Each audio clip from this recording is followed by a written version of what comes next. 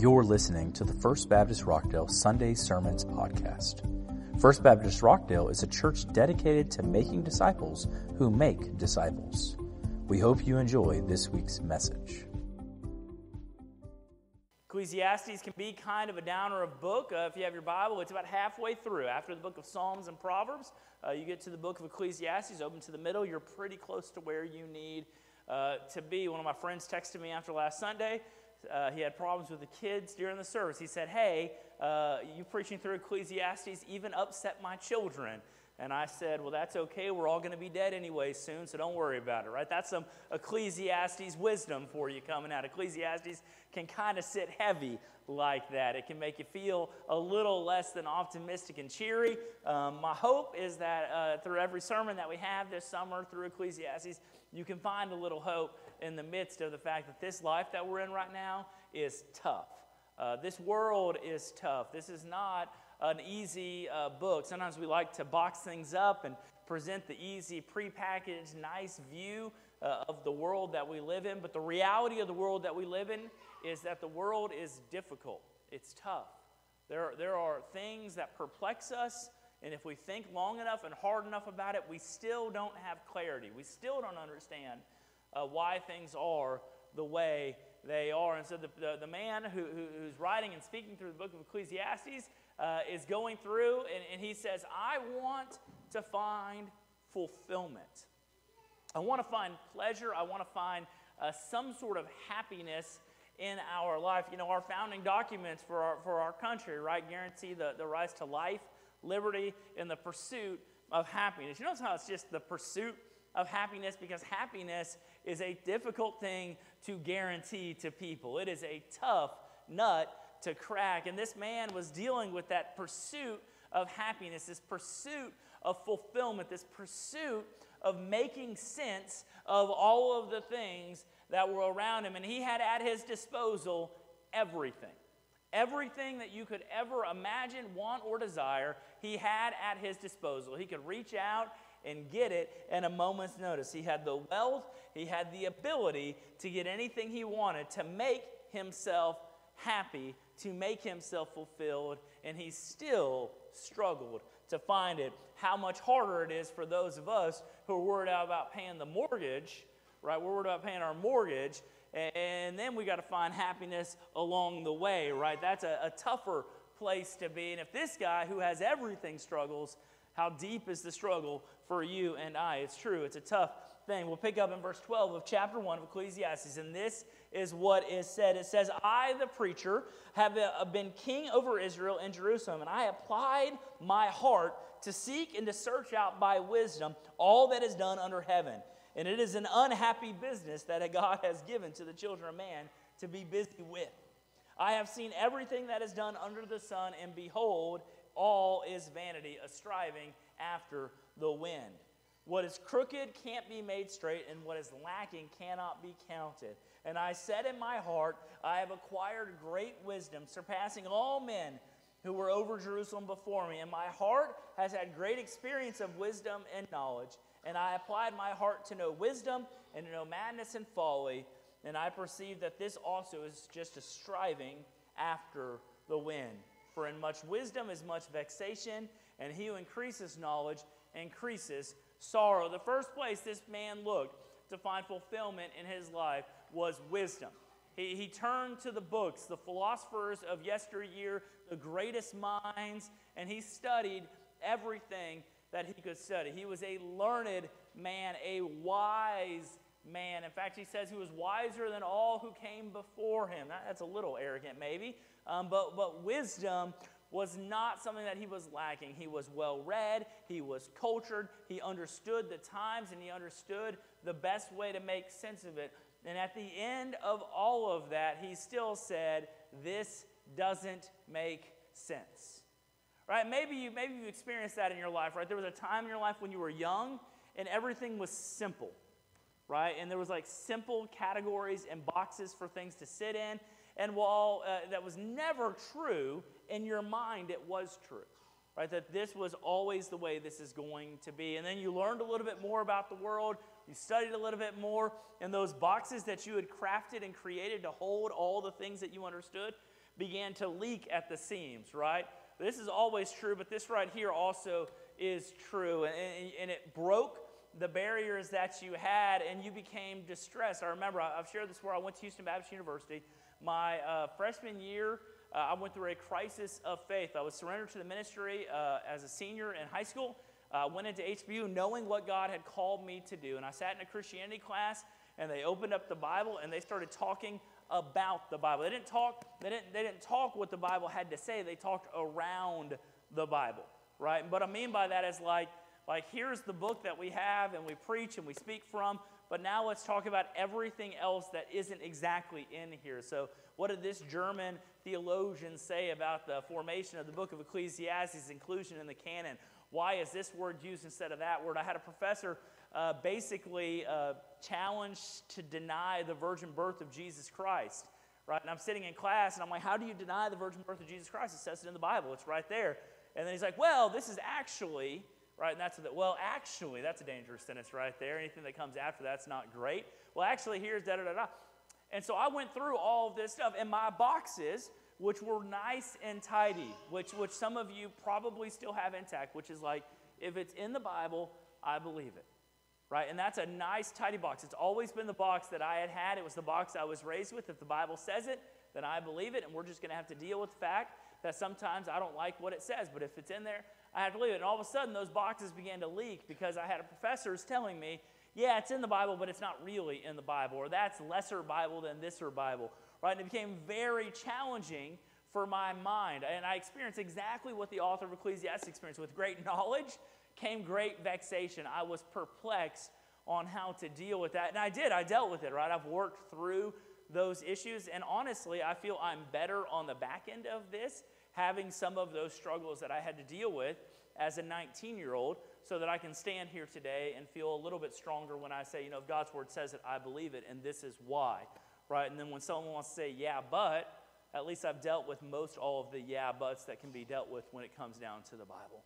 But you know, a seeking after wisdom, and we can do this in a lot of ways in our lives, will never lead to fulfillment. The purpose for your life, the grand, like, meaning for your life that you're seeking is never found in philosophy.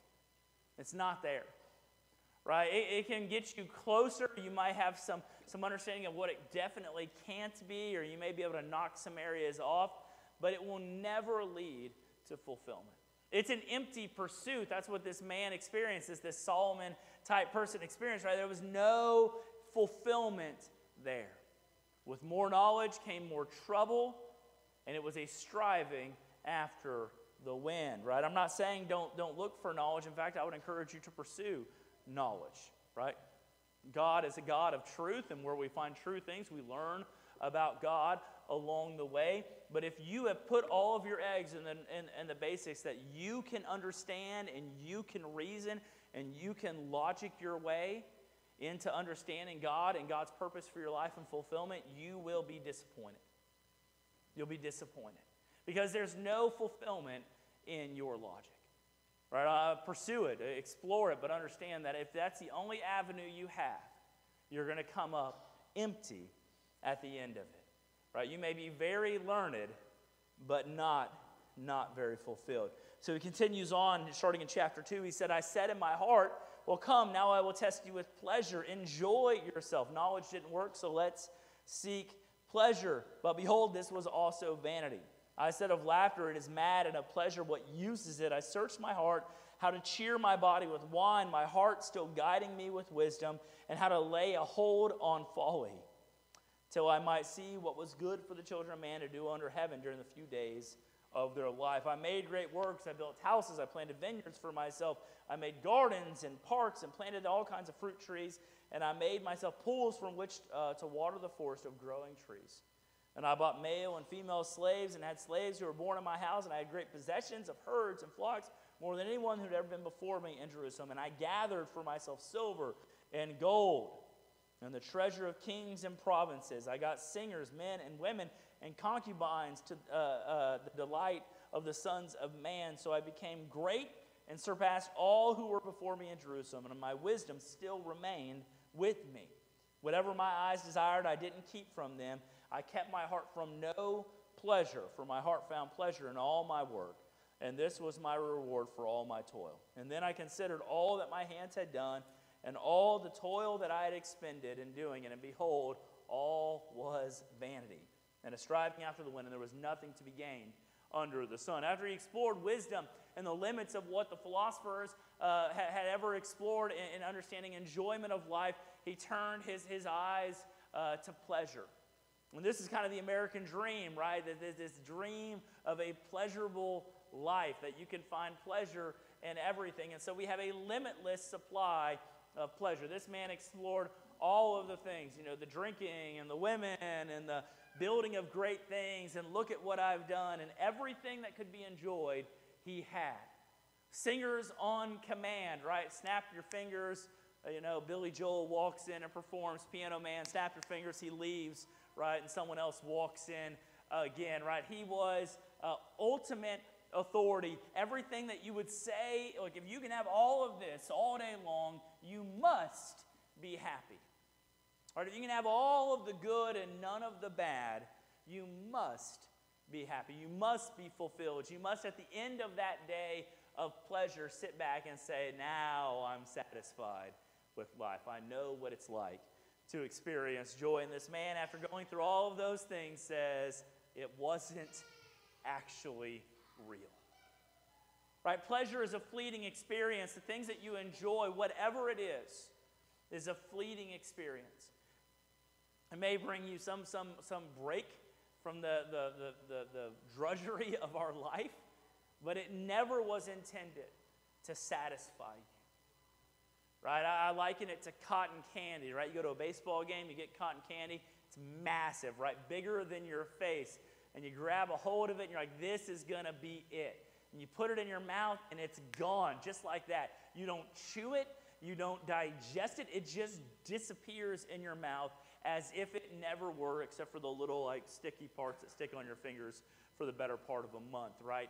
Everything that goes in you disappears. That's what pleasure is, right? It looks good, it looks fulfilling, and for a moment in, in your mouth, it may be a delight for a second, but then it's gone, and you're left with a sticky residue that you can't get off of you, right? It doesn't actually satisfy. And everything tells you that it will. The entire American economy right now tells you that your pursuit of stuff will make you happy. Buy another thing. That's a Madison Avenue's whole deal. Buy another thing.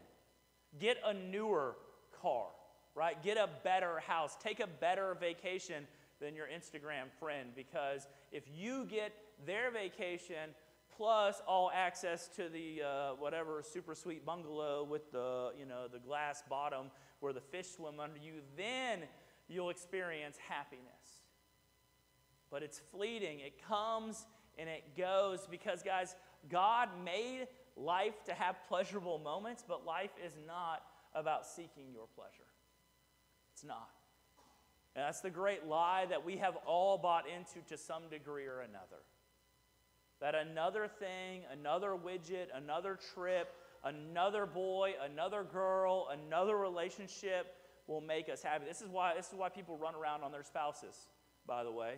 Right? We think if it, like this one isn't quite doing it for me anymore or for this season, but that lady or that man will. And so I'm going to leave this person secretly because like they may be the parent of my children. I'm going to leave this person. I'm going to pursue after pleasure over here. I'm going to tell you something it's empty. It may seem real, it may seem fulfilling for a season, but it will, it will not last. It just doesn't work that way because you were not created, right? Your ultimate purpose isn't to feed the appetites that, that you have inside of you. God has given you these appetites, they are good things. There are ways for you to experience a little bit of the goodness of God, but if you corrupt them and you make it all about feeding those appetites, uh, whether it's uh, wealth or sex or entertainment or travel or possessions, whatever it is that you fill in that gap and you say, that will be the thing that I'm going to pursue wholeheartedly, it will leave you empty at the end. Some of us work really hard to build up retirement funds, and we can make those retirement funds into our idols. We think, I'm going to put all of this away. I'm going to store all of this away. But at the end of the, whenever we, we go and our life is no more, we die with more money than we ever spent, right? And, and we did nothing with it to benefit those who God has put around us. Pleasure ultimately doesn't lead to fulfillment. The pursuit of pleasure doesn't lead to fulfillment. Don't buy the lies that you see on television, right? That you will be better looking, uh, faster running, you know, more satisfied if you would buy, do, or consume X, Y, or Z. It's all a lie. There are people paid seven figures a year to figure out how to lie to you to get you to buy the thing that they themselves won't buy at all. That's one of the, one of the great, great things about social media, right? The people who, are, who sell you social media and they're on it and they're pitching it and they avoid that in every way they can for themselves. Right? Because it's addictive and it's damaging and they see it and they walk away. Don't buy the lies that are out there. Pleasure fails to deliver. Fulfillment continuing on in verse 12 it says so i turn to consider wisdom and madness and folly for what can man do uh, or, or what can the man do who comes after the king, the, the, the generation to come, only what's already been done. And I saw there's more gain in wisdom than folly, and there's more gain in light than in darkness. The wise person has his eyes in his head, and the fool walks in darkness. Yet I perceive that the same event happens to all of them. And I said in my heart, What happens to the fool will happen to me also. Why then have I been so very wise? For of the wise as of the fool, there is no enduring remember, seeing, remembrance, seeing that in the days to come, all who, who will have been long forgotten, uh, all, how the wise dies just like the fool. So I hated life because what is done under the sun was gr- grievous to me. For all is vanity and striving after the wind. I hated all my toil in which I toil under the sun, seeing that I must leave it to the man who will come after me. And who knows whether he will be wise or a fool, yet he will be master of all for which I toiled and used my wisdom under the sun. This also is vanity. So I turned about and I gave my heart up to despair over all the toils and my labors under the sun, because sometimes a person has toiled with wisdom and knowledge and skill must leave everything to be enjoyed by someone who didn't toil for it at all. This also is vanity and a great evil. Uh, for what has a man from which all the toil and striving of heart with which he toils beneath the sun? For all his days are full of sorrow, his work is a vexation, and even in the night his heart doesn't rest. This also is vanity. That's a real upper there. Basically, what he says is this look, one day, no matter how hard you work, no matter how wise you are, no matter how, how, how, how, how uh, awesome you are, at the end of your life, you will be no more. And whatever you have gets passed on to someone after you who didn't work for it, and oftentimes they're worthless. Right? Not your kids. Your kids are all wonderful, excellent people, I'm sure. Right? But, right, yeah, you've seen studies of these people who come into great wealth and then like three generations later this like massive amount of wealth is totally gone right because the people who didn't work for that wealth who were just kind of like born with the right last name they don't understand it and so they just spend and spend and spend they don't put anything into it and the wise who put the stuff away ends up leaving all of that for the fool who's behind them and, and Solomon, this Solomon guy says, Man, what a great waste that is. I spend my whole life building and planting and doing all these things, and the people who are coming after me, uh, they're, they're stupid, idiots. They're going to waste it all, right? And maybe a fear of yours. My parents have told me uh, on numerous occasions that they're spending every dollar they make, right? That's their goal. Their goal is whenever they clock out to be given the last dollar to the undertaker on the way out. Okay, that's their goal so that we don't end up with anything from them. I'm okay with that. I really am. I'm glad they told me that, by the way, as well. That would have been kind of disappointing otherwise, maybe. Right? But the idea is like they're not going to worry about passing things on because ultimately, like, that's not their purpose. My parents raised me, they set me up, they, they directed me in a way uh, to, in which I should go. And my job is not to live off of them for eternity or my kids or, their, or, their, or my brother's kids, right? Ultimately, my job is to make my own path. But you know, nothing that we do in this life is permanent. That's a, that's a tough thing to, to, to, to stomach. Nothing that we do. is, I talked about it last week, right? Right? Like ultimately, like you're one day you're going to come and you're going to turn into a, a, spot on the ground somewhere. Maybe a, a stone that marks you and give a few generations away, and your name may be illegible on that rock that you put there. Sand, the wind has slowly worn it away, and there's a marker that someone was here, but we can't even identify who that was anymore. Right? Your life is temporary, and nothing that you do makes ultimate, lasting impact under the sun. None of the work that you toil for, none of the money you save for your company, none of the, none, none of the, none of the lives that you've you know, worked with throughout your life, ultimately, like in the ultimate grand scheme, it all just washes away. Right? And that's it. And that's tough to hear because we like to think that what we do matters. It does, by the way, to some degree, today. We like to think that it has this lasting impact for forever. But you know, the human history, all of human history, the billions of people who have lived, there's not many people from over like, I don't know, 300 years ago that we know anything about. Right? They've pretty much all been washed away by history.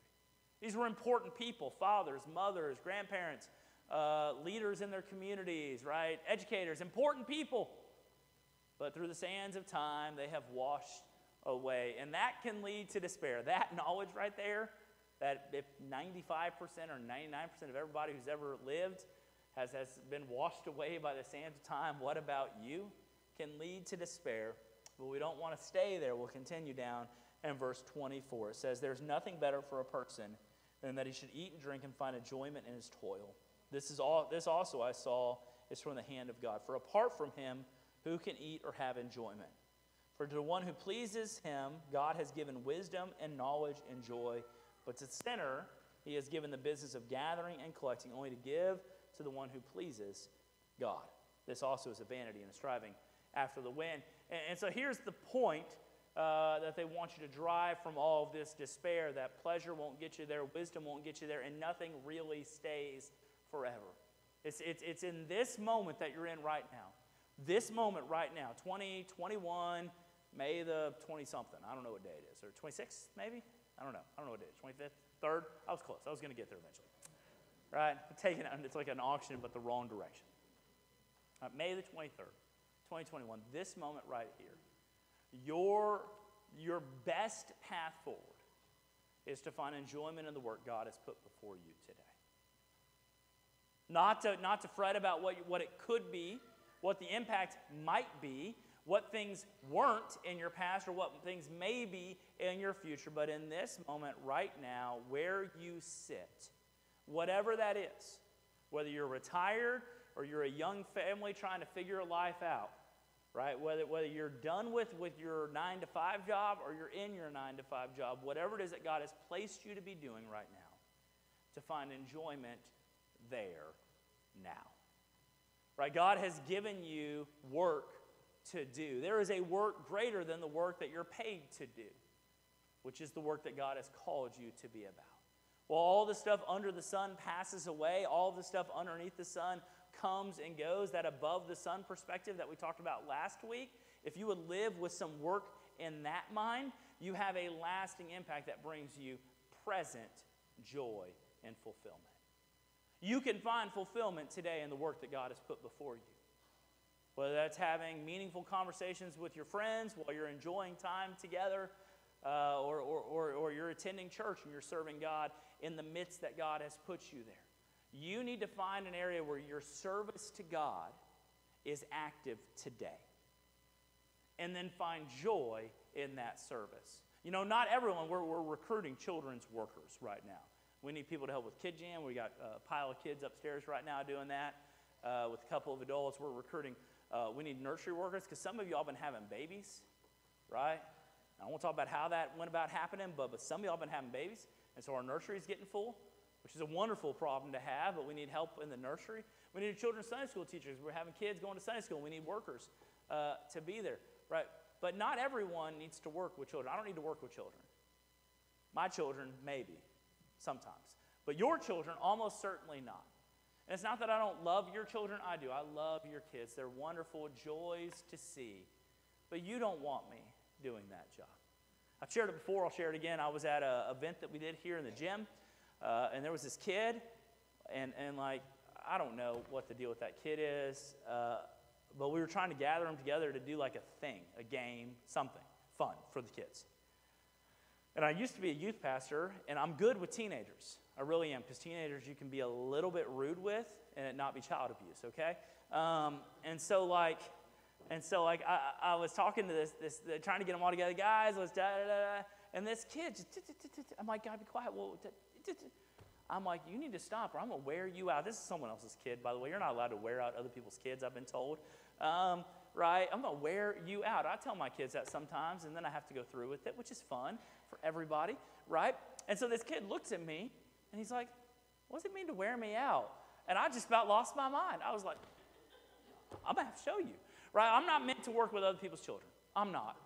I'm just not because, like, I couldn't. I, I, I, school teachers, God bless y'all. I, I think I would get fired.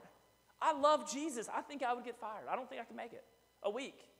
I would say something, and it would be a mama would come in to the administrator, and they'd be like, "Did you say this?" And I'd be like, "Sounds worse when you say it back to me, but yeah, I did." right? Like I just couldn't do it. Not everyone's supposed to do everything. Find a spot where you can serve the Lord, where you can be serving God, that brings you joy. And in those moments, you'll find meaning and fulfillment. Guys, if you want to find fulfillment in your life, if you're trying to figure out what's the purpose for this life, where there's happiness and joy, there is happiness, there's fulfillment, there's satisfaction in serving God in the right place. So discover what that is. If you're alive today, which if you're hearing me, you are, congratulations right? Somebody I say, say, how you doing? I said, I'm still kicking. I said, that's pretty good. I'll take still kicking over the alternative some days. If you're still alive and kicking, you've got something to give for the Lord today. That can be in this church, that can be in your community, it can be at place of hope, it can be in just in prayer, getting on your knees or in your room and praying for you. I have, I have a dear woman in our church prays for me every single day. Every single day. That's what she does. Every day she goes to God, she prays for your pastor. Can you imagine how terrible I would be if that did not happen? I need it.